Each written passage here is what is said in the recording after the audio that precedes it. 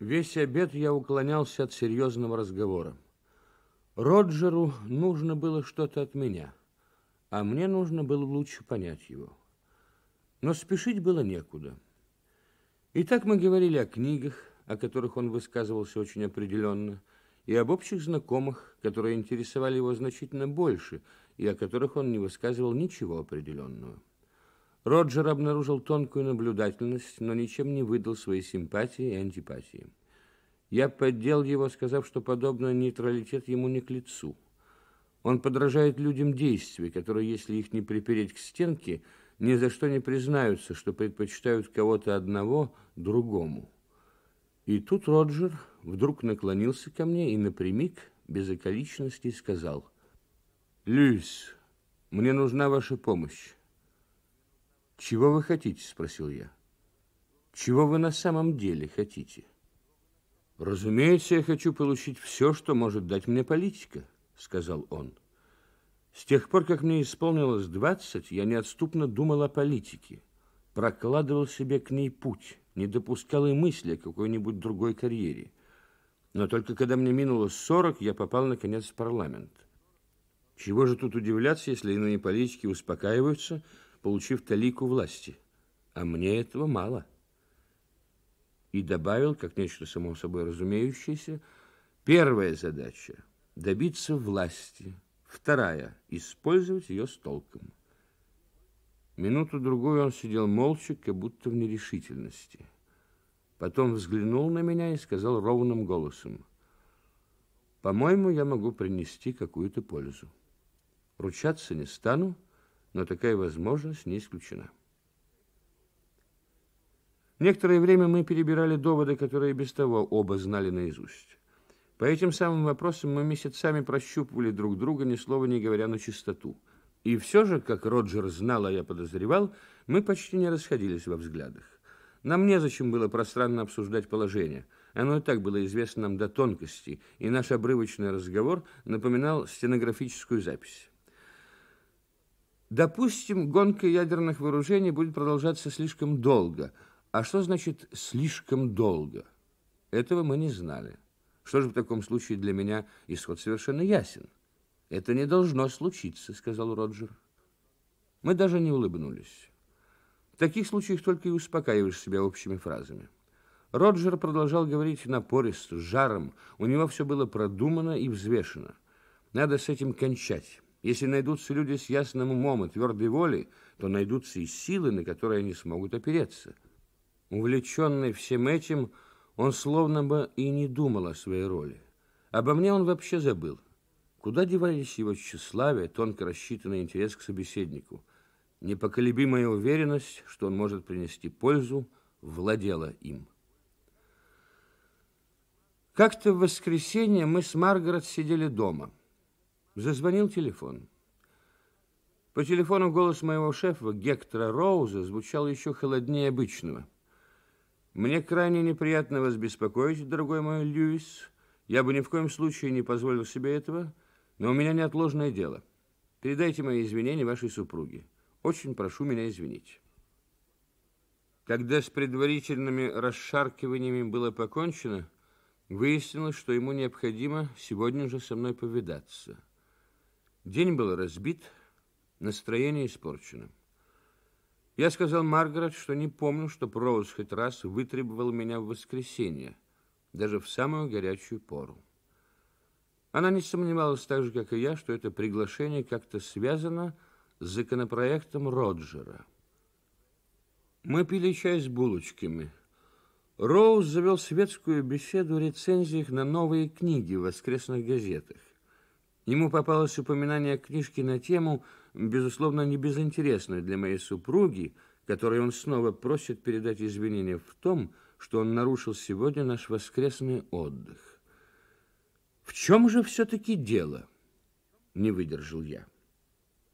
Он уставился на меня с каким-то странным выражением. Вероятно, случилось что-то, имеющее отношение к Роджеру Куэйфу, сказал я. Я не ошибаюсь? Не совсем так, живо, озабоченно ответил Роуз. Наконец-то он перешел к делу. Нет, насколько я знаю, тут все в порядке, продолжал он. Наши хозяева, видимо, собираются санкционировать этот э, проект, который я назвал бы необычайно разумным. На этой неделе он будет рассматриваться на заседании кабинета. Это, разумеется, компромисс, но в нем есть ряд положительных пунктов. Будут ли наши хозяева отстаивать эти пункты, когда окажутся под перекрестным огнем, вопрос другой. Будет ли наш друг Куэйв отстаивать свой законопроект, когда на него накинутся всерьез? Признаться, мне это очень любопытно. «Так что же?» — сказал я. «По правде говоря, — начал он, — мне пришлось провести некоторое время в обществе работников службы безопасности. Он с усилием сдержал досаду и заговорил спокойно, отчетливо, старательно выбирая слова. «Я не хотел тревожить вас без необходимости. Помнится, несколько месяцев назад я говорил вам, что на меня с разных сторон оказывают нажим – которому я по мере сил стараюсь сопротивляться. Так вот, должен с огорчением признаться, что я не мог сопротивляться до бесконечности. Эта публика, как там они себя именуют на своем мерзком жаргоне, группа нажима, готова действовать через нашу голову. У нас нет способа этому помешать. Некоторые наши ученые, я имею в виду самых выдающихся ученых, наших советников по линии обороны, едва ли нужно напоминать вам, что это линии нашего друга Куэйфа, будут снова проверены с точки зрения их благонадежности. Мне кажется, эта процедура будет именоваться, не слишком изящно, двойная проверка. Боюсь, что через ту же процедуру придется пройти и вам. Я даже вскрикнул. Меня охватило бешенство. Такая оплеуха. Мне очень жаль, Эллиот, сказал Роуз. Вы думаете, я стану это терпеть? Некоторое время мы молча сидели друг против друга. Потом он сказал напряженно, холодно и враждебно. Я считаю своим долгом, насколько возможно, облегчить вам все это. Если вы не желаете подвергаться этой проверке, я постараюсь изобрести какой-нибудь предлог. В конце концов, это не свыше сил человеческих. И вопросами обороны займется кто-нибудь другой, кем мне так интересуется служба безопасности. Разумеется, прибавил он с усилием, возвращаясь к обычной учтивости, никто другой не будет для нас столь неоценимым помощником, дорогой мой Льюис. И вы серьезно думаете, что я могу согласиться на подобное предложение? Я делаю его с чистой совестью. Вы же знали, что я не могу согласиться. Роуз разозлился не меньше моего. Неужели вы сомневаетесь, что я отбивался от них месяцами? Да, выбора у меня нет, сказал я грубо. Можете сказать этим господам, чтоб делали свое дело. Человек по имени Монтис, подвижной, крепко сбитый, был как-то по-актерски красив. Темные волосы, сидеющие виски. Но держался он без малейшей театральности, ненавязчиво и почтительно. Он был лет на десять моложе меня. Я не знал толком, какова его роль. Заправляет он этими делами или это некая безымянная сила, действующая за спиной заправил, или просто исполнитель? Я мог только гадать. Вы сделали весьма достойную карьеру, решительно и вместе с тем любезно заговорил Монтис, обращаясь ко мне по всей форме.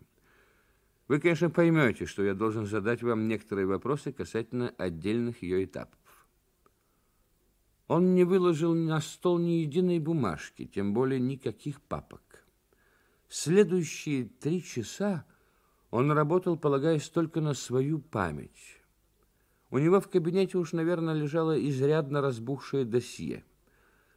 Я быстро понял, что он беседовал не только с учеными и государственными служащими, с которыми я сотрудничал в годы войны и после, не только с моими старыми знакомыми по Кембриджу, но и с персонажами из моего далекого прошлого, с неким ушедшим на покой адвокатом, с которым я не виделся добрых пять лет, и даже с отцом моей первой жены. Все сведения он хранил в голове и по мере надобности, как нельзя кстати, извлекал на свет Божий. Этот прием известен любому официальному лицу. К нему не раз прибегали и Роуз, и Дуглас, и я сам. И все же это производило впечатление. Произвело бы впечатление и на меня, смотря со стороны, как он умело разбирается в обстоятельствах чьей-то чужой жизни. Но речь шла обо мне, и это минутами выводило меня из равновесия. Тут были такие обстоятельства моей жизни, подчас самые сокровенные – о которых он был осведомлен лучше и подробнее, чем я. Моя ранняя юность, банкротство моего отца, бедность, время, когда я служил и в то же время готовился держать экзамен на адвоката. Он в точности знал все даты, все имена. Все это выглядело так просто и легко и совсем не походило на прожитую мной жизнь. Потом Монтис спросил, «Когда вы в молодости жили в...» Он назвал городок, в котором я тогда жил. Вы занимались политикой?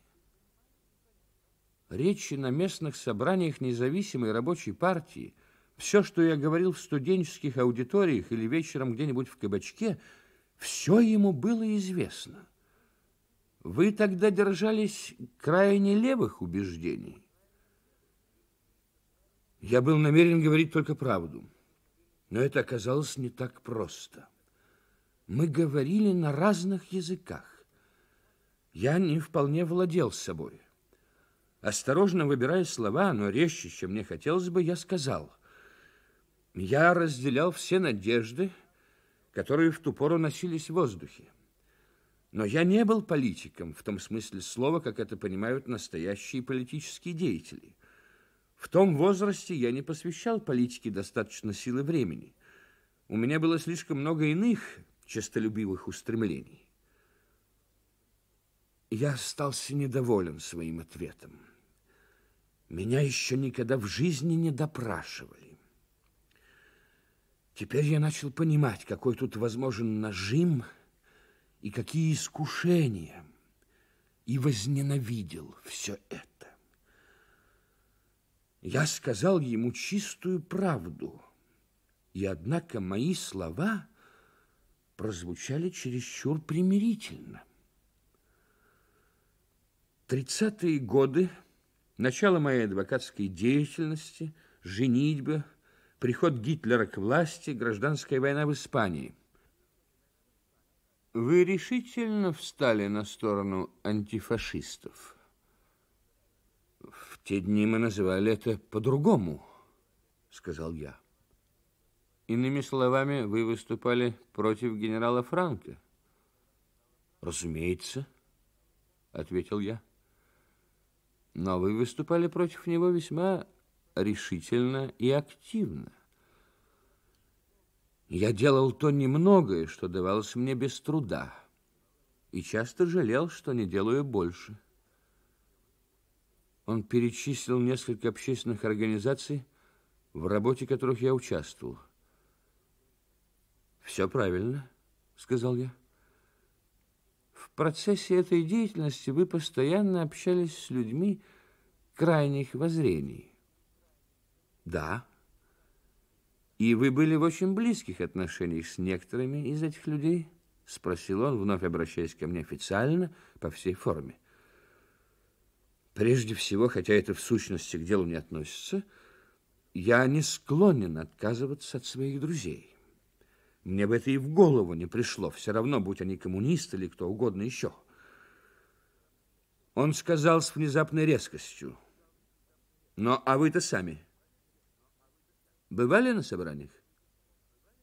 И он назвал организацию, которую не в те времена, а позднее мы стали именовать «Фронт».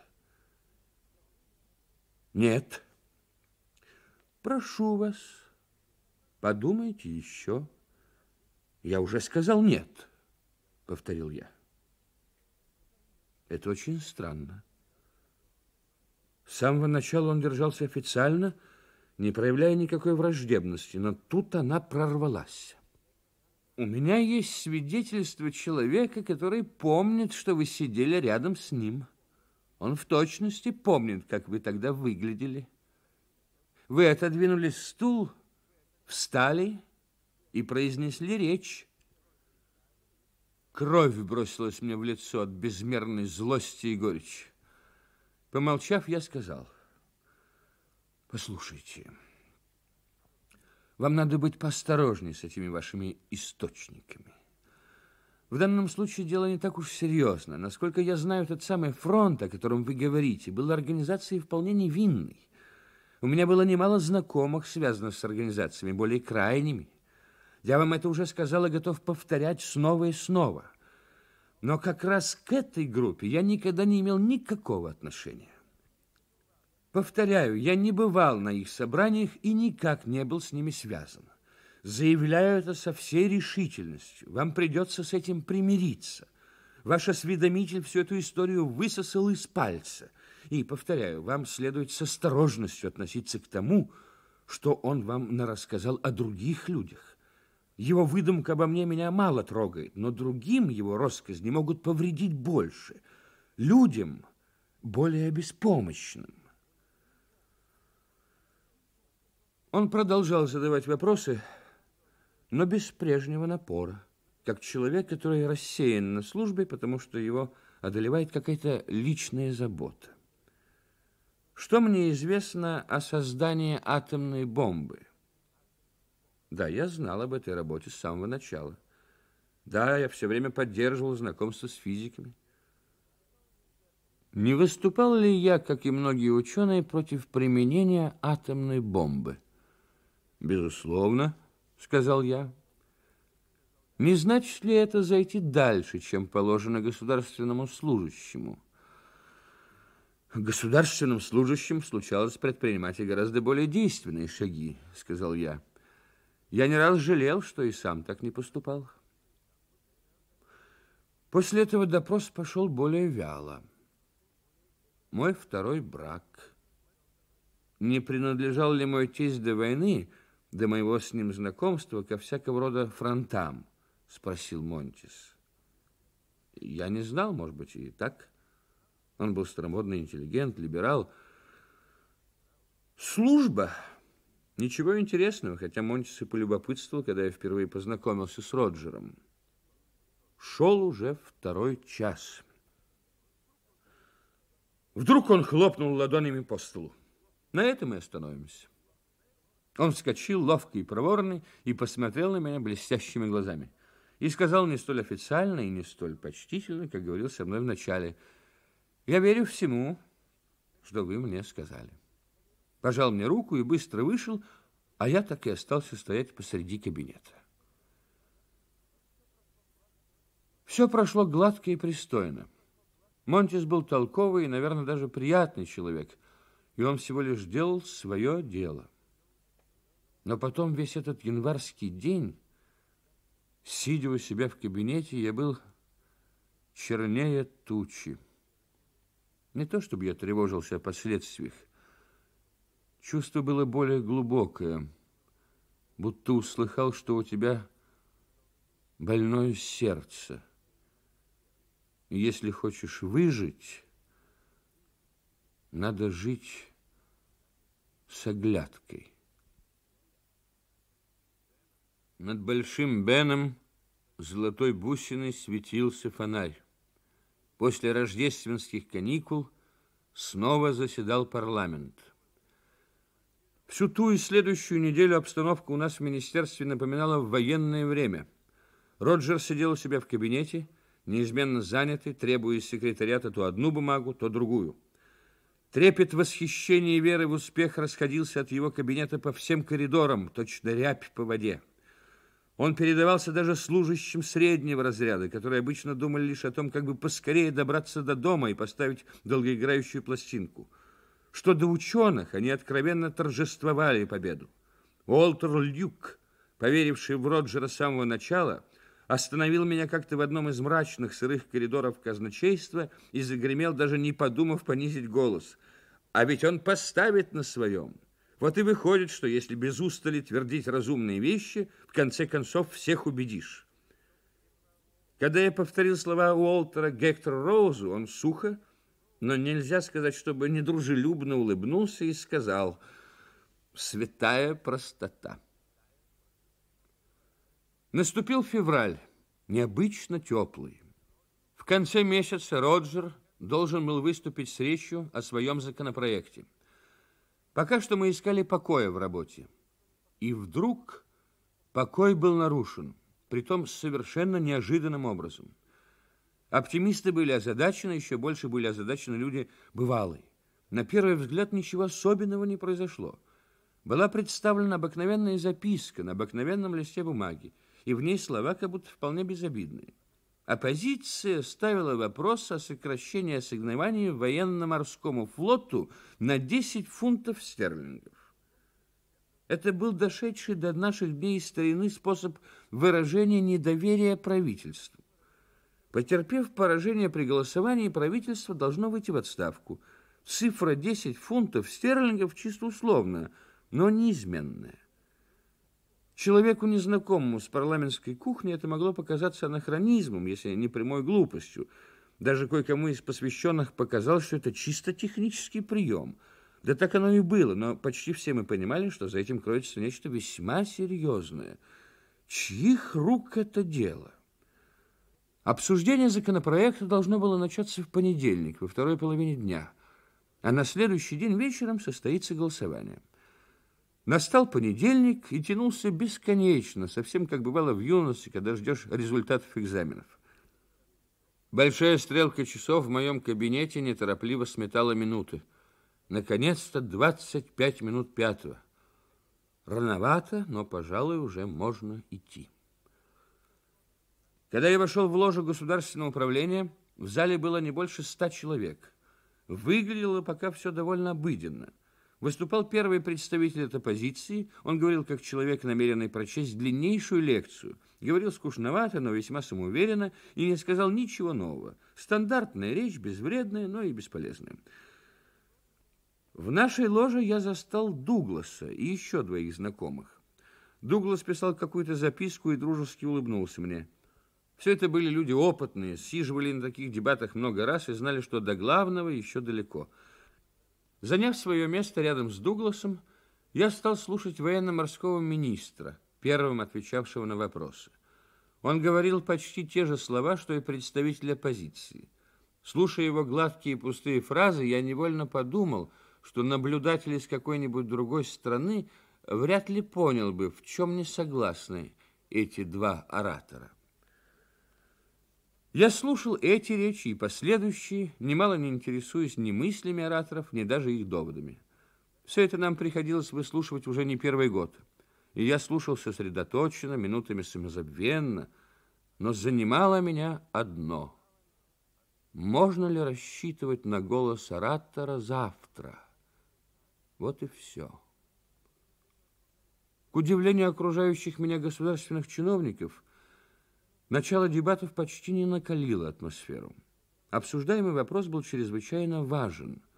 Уже не первую неделю вокруг этого вопроса, как и вокруг самого Роджера, бушевали страсти, это знали все, ждали бурных выпадов, но их не было. И вот ровно в девять часов слово было предоставлено члену парламента от избирательного округа одного из графств. Когда он поднялся, я поудобнее устроился в кресле, не испытывая никаких опасений. Это был некто Траффорд. Я был немного с ним знаком. Человек небогатый, он жил на доходы с небольшого предприятия, доставшегося ему по наследству. К крайне правым не принадлежал. Мне он представлялся человеком тупым, ограниченным, лишенным собственного мнения. Он встал, широкоплечий, с обветренным лицом, и сразу ринулся в атаку. В атаку злобную, неистовую.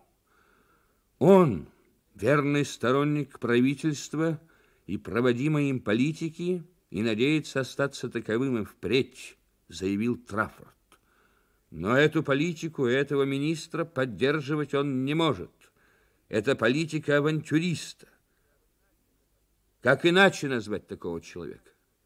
Какие у него заслуги? Какие достижения? Присматривался, выжидал, преследовал свои корыстные цели, только и думал, как бы поскорее выдвинуться. Он толкает свою страну на путь авантюр. Чего ради? Кто дал ему на это право? Почему мы должны ему доверять? Голос Траффорда дрожал от ярости. «Авантюристы опасны», — говорил он. «Они умеют втереться в доверие к окружающим, завоевать их расположение. Они могут быть умны, но они несут гибель любому правительству, любой стране. Пора бы правительству взяться за ум и вспомнить, в чем его сила и слава. Тогда Траффорд, его друзья, вся страна вновь его поддержат. Он говорил недолго. Дважды его громкими криками заставляли замолчать, но даже сторонники Роджера растерялись, словно Траффорд на время парализовал их ядом своей ненависти.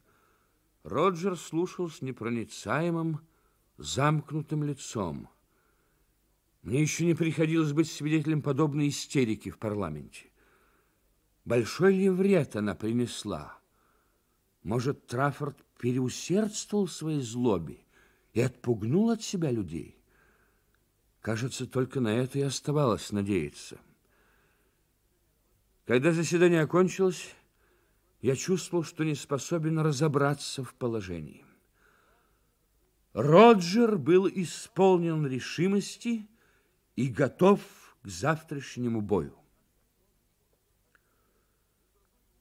На другое утро я проснулся рано и лежал, слушая, как в передней с глухим стуком падают на пол газеты. Они не подтвердили моих страхов и не оправдали надежд. Шли часы без всяких происшествий, но легче от этого не стало, и вот, наконец, снова пробила половина пятого. Мне пора было в парламент. Слушая прения, я не мог прийти ни к какому выводу. Тон ораторов из обоих лагерей становился все резче. Все места на скамьях были заняты, забиты были даже проходы. Время от времени слышались отголоски речи Траффорда, раздавались слова «игрок», «авантюристы», «риск», «капитуляция», но выкрикивали их люди, которых мы и так давно скинули со счета. Несколько ораторов закончили свои выступления, так и не уточнив, за что же они намерены голосовать. Речи продолжались. Зал заполнился до отказа. Все громче становились и взрывы смеха, и возмущенные возгласы, но чаще царила напряженная тишина. Напряженная и тревожная. Все взгляды были устремлены на Роджера, который неподвижно сидел на передней скамье, подперев рукой подбородок. Последние вялые выкрики «Правильно, правильно!» после того, как угомонился, наконец, последний оратор оппозиции. Снова тишина. И затем голос председателя. «Мистер Куэйф!» Наконец-то Роджер поднялся, грузный, неповоротливый, но движения его были свободными и непринужденными. За его спиной раздались дружные аплодисменты его сторонников. Он был спокоен, неестественно спокоен. Такое спокойствие в человеке, стоящем на пороге самого важного испытания в своей жизни, даже пугало. Дойдя до сути дела, он заговорил языком нашего времени, языком второй половины двадцатого века. Никакого пафоса, никаких выспренних выражений, столь излюбленных парламентскими ораторами. Можно было подумать, что целое поколение отделяет его от политических деятелей обеих партий, выступавших здесь до него. Это говорил человек, привыкший к радиостудиям, телевизионным камерам, к тому, что мы живем в век машин. Без всякой декламации, своим обычным голосом говорил он о войне, о вооружениях, о том, как важно обеспечить мир. Он говорил, не выходя из рамок повестки дня – И все же не прошло и десяти минут, как я понял, что он и не думает идти на попятный, что минуты слабости, сомнений, уловок остались позади. Он говорил то, что часто скрывал, но во что верил всегда. Он говорил веско, как человек, который способен взять власть в свои руки. Я слушал с восхищением, с тревогой, с какой-то тревожной радостью. Сейчас, когда настала решающая минута, уж не жалел ли я, что он не пошел на компромисс? Ведь теперь коллеги могут со спокойной совестью от него избавиться. Когда шла торговля вокруг законопроекта, никто не давал согласия на подобные речи. Оставалась лишь одна надежда, что он увлечет и убедит парламент. За последние два дня здесь не раз повторяли, что я склонен рисковать, говорил он. Позвольте мне сказать вам вот что. Любое решение всегда риск. В наше время, принимая любое важное решение, мы серьезно рискуем. Но риск риску рознь. Жить бездумно, по старинке, как будто в нашем мире ничего не изменилось, тоже значит рисковать. Наша страна больше не может быть сверхмощной державой, говорил Роджер. О чем я очень сожалею. Но я уверен, что мы можем помочь добрым примером, здравым смыслом, дельными советами и разумными действиями мы можем помочь перетянуть чашу весов, когда они начнут колебаться, когда встанет выбор – светлое будущее или мрачное, а вернее светлое будущее или никакого. Просто отойти в сторону мы не можем. Будущее колеблется на весах. Как немало мы можем на него повлиять, что-то сделать мы все-таки можем. Вот почему я готов пойти на риск. В сущности, этот риск невелик и может привести к добру, тогда как другой риск огромен и ведет к самым пагубным последствиям. Еще не поздно выбирать. Вот и все.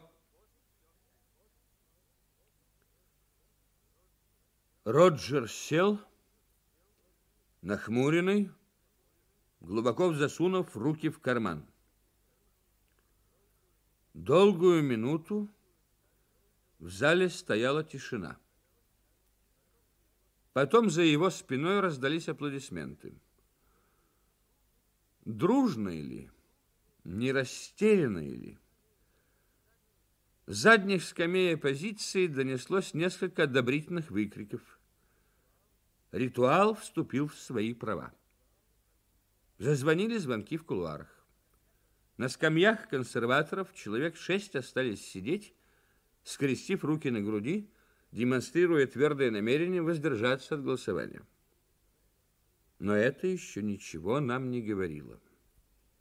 Менее откровенные могли покинуть зал, но тем не менее не голосовать.